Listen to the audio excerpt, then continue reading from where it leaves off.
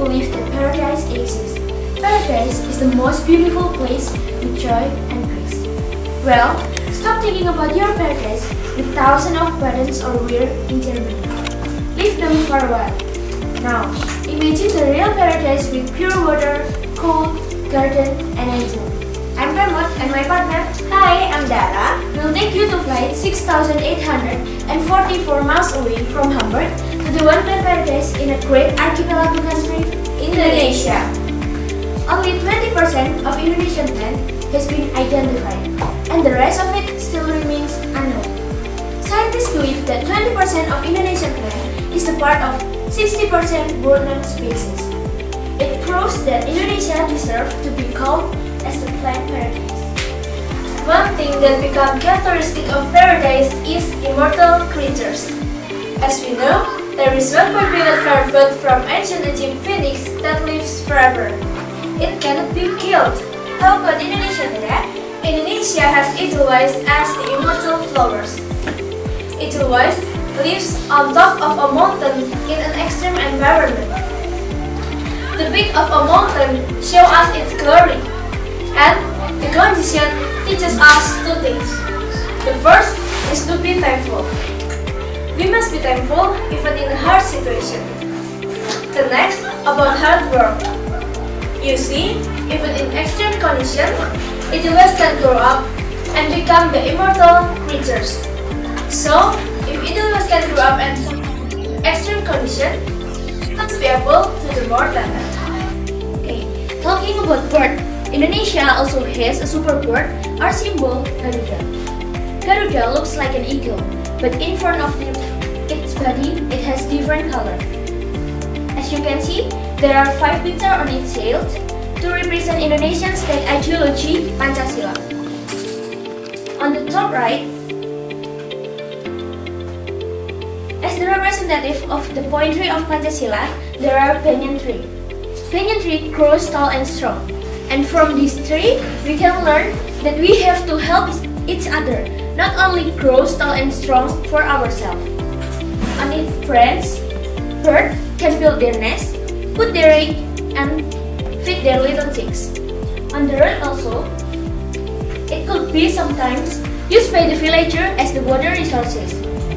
Indonesian people believe that there are many other spooky creatures with special abilities inhabit on a banyan tree. For the example, in Yogyakarta City Hall, there are twin banyan trees. And local people believe if you can walk between the twin banyan tree with eyes closed, your wish will come true. Indonesia also has floral emblems.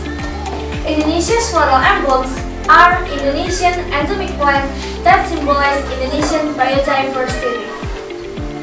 Indonesia's floral emblems divided into three types. The first is national flower. Indonesian national flower is white jasmine. White jasmine is a small flower with a white color. White jasmine is symbolized purity. In Indonesia, especially in Java and Sunda, white jasmine is used for a wedding ceremony. It is used to beautify the bride's hairband. The next is red flower, Rafflesia arnoldi.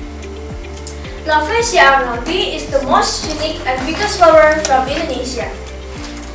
When it blooms, it can reach 1 meter in diameter and weighs 11 kilograms. Rafflesia arnoldi is endemic plant in Borneo and Sumatra rainforest. Thomas Thomas Stamford Raffles found it in 1817 when the United Kingdom colonized Indonesia. The last is moon orchid, the flower of charm. Its charm comes from the beautiful snowy petal color that symbolizes beauty of Indonesia. Now, if you have watched and are connected to the movie, the story is focused on the search of magical flower, blood orchid. Well, what they meant by the blood orchid in this movie actually exists in the world, but only in Indonesia. That is our rare and unique black orchid native to East Borneo and Papua. Black orchid from Iscunio is not completely black. We can see the black color only in the middle of the flower.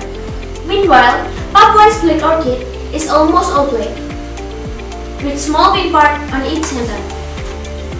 Because of its scarcity, it can be valued in a very high price, start from 6,000 euro. And there is an urban legend, if you try to pick this flower, your life will be at risk. It will, be, it will bring bad luck to you and your family. But you don't need to worry, it is a myth. We can still enjoy the beauty of black orchid only in Indonesia. It does exist up to now, but make sure not to.